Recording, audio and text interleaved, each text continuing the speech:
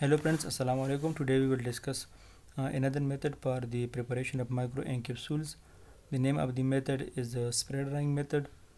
So in this method uh, first we will prepare solution of the core material.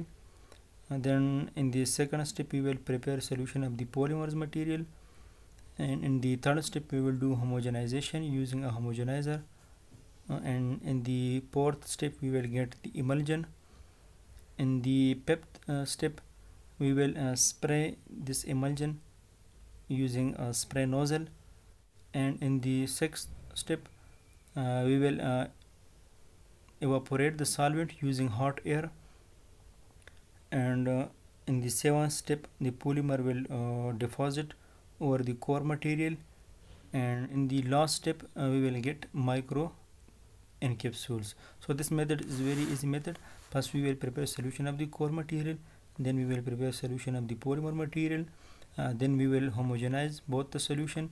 So we will get the emulsion. Uh, so when, when this emulsion is passed through spray nozzle so uh, this uh, emulsion will be spread uh, using a hot air we will uh, evaporate the solvent from the emulsion. And finally we will get micro encapsules or micro particles